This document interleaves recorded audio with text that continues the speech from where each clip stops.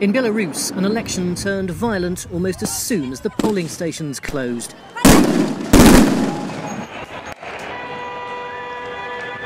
Security forces used tear gas, stun grenades, and rubber bullets after crowds poured onto the streets in protest. They believe the results showing a landslide victory for the country's authoritarian president, Alexander Lukashenko, were falsified.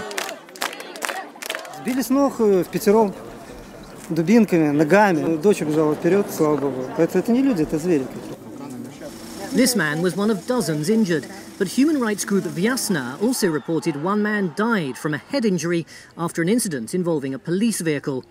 This video has been circulating on social media, but it's not clear if this is the incident in which the man reportedly died. Photos of the same incident show the man appearing to bang his head forcefully as he fell to the ground.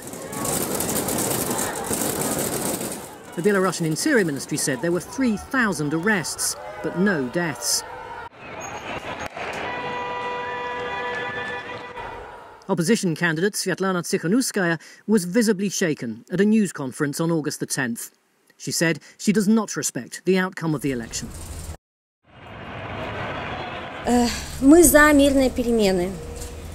И власть должна сейчас подумать о том, как мирным способом передать эту власть, понимаете, они, потому что на данный момент у них единственный способ это насилие над людьми, над, над, над мирными э, белорусами. Прогнозы не могу сказать, да, но я надеюсь очень, что насилия никакого со стороны властей не будет, если вдруг, если вдруг люди опять захотят выйти на мирный протест, я не знаю, что будет, но того насилия оно просто не должно повториться.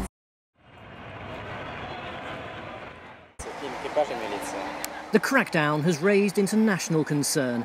Poland called for an emergency European Union summit. And European Commission President Ursula von der Leyen called for the votes to be counted accurately. By contrast, Russia and China congratulated Lukashenko, who said the protesters were sheep controlled by foreign powers. He is now preparing for a sixth term in office, but the opposition appears determined that his 26 year rule should not continue.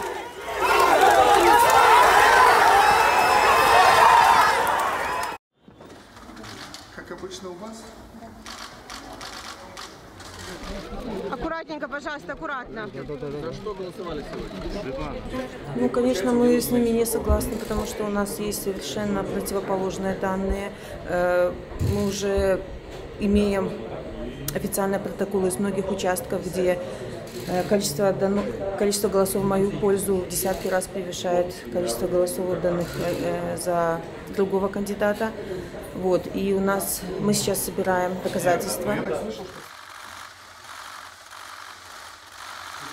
Мы отфиксировали, вам это известно, как бывшему разведчику, отфиксировали все звонки из-за границы, из Польши, из Великобритании и из Чехии. Последние были звонки, управляя нашими, извините меня, этими овцами. Они не понимают, что они делают, и ими начинают уже управлять.